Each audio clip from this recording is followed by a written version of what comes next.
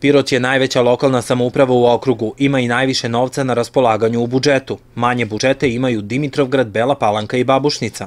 Na ovom strateškom pravcu e, drugog kraka koridora 10 se nalaze e, praktično i Pirot, i Dimitrovgrad, i Bela Palanka. Babušnica jeste malo, da kažemo, e, skrajnuta i naravno da su to mali budžeti. U Babušnici je to zaista skroman budžet, mislim da je manje od 350 miliona dinara. I onda kada treba da uredite neki, neki put od kilometar, vama sedmina ili osmina budžeta treba da ode praktično na, na te potrebe.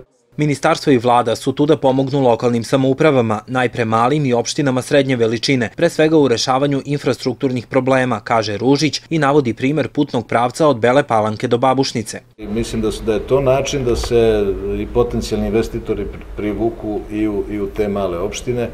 Um, mislim da je paradoks da je Babušnica i pored toga što je opština sa 12-13 hiljada stanovnika, opština koja nema e, pretirano visoku stopu nezaposlenosti, takođe ni Pirot. E, Dimitrovgrad, e, rekao bih da upravo ovim krakom koridora 10 poprima u infrastrukturnom i u svakom drugom smislu na značaju.